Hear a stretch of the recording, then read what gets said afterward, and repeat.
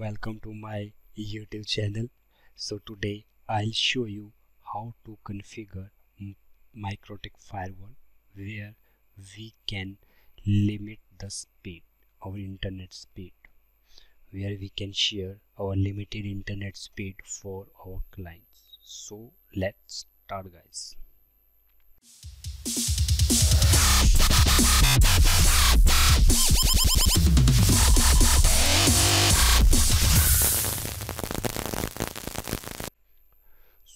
first of all we will check the internet speed.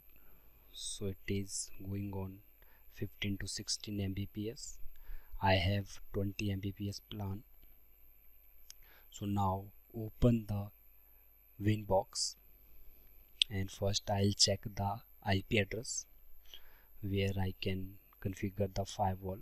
So my ip address is 10.10.10.17 so now I open the winbox where open the queues and here click on plus sign and here you can give the name any name. I'll simply give the tech dhee and here you can enter the fully network if you have to restrict the network or you can enter the simple one IP address so I'll enter the IP address and right now I gave the unlimited speed for this PC so I simply select nothing and click on unlimited. And now I will check the internet speed. So click on go. And here you can see our internet speed is going through and all the internet speed is going on. And here guys internet speed is fully using by this system. And now upload is also fully using because we will not configure any firewall so now come back to the winbox result is same. Now come back to the winbox and here now we will give the upload and download speed is limited. So our maximum limit is 1 MB and maximum download limit is also 1 MB select the internet speed 1 MB and then click on apply now I'll check the internet speed. And here if you will see the firewall our tech Dhee. Here guys our tech Dhee is going red that means right now our system is using full bandwidth.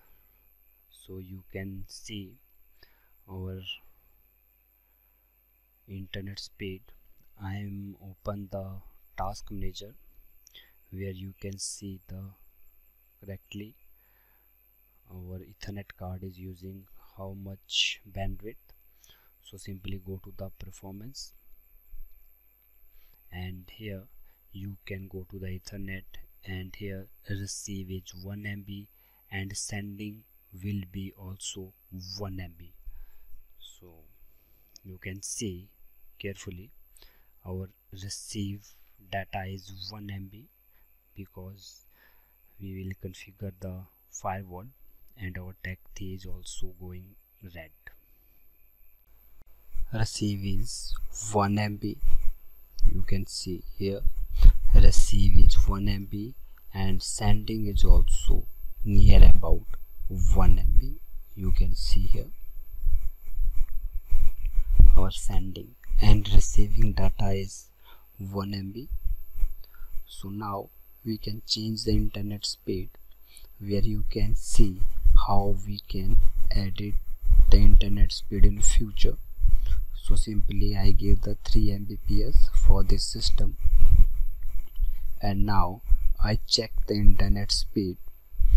So you can see here our receiving data is 3 Mbps and our upload data also will be 3 Mbps.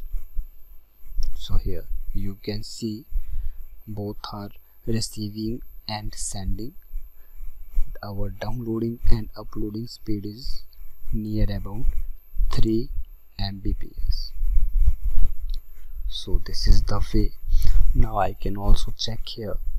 So it is only check the download speed so in the task manager you can see our download speed is near about 3 Mbps.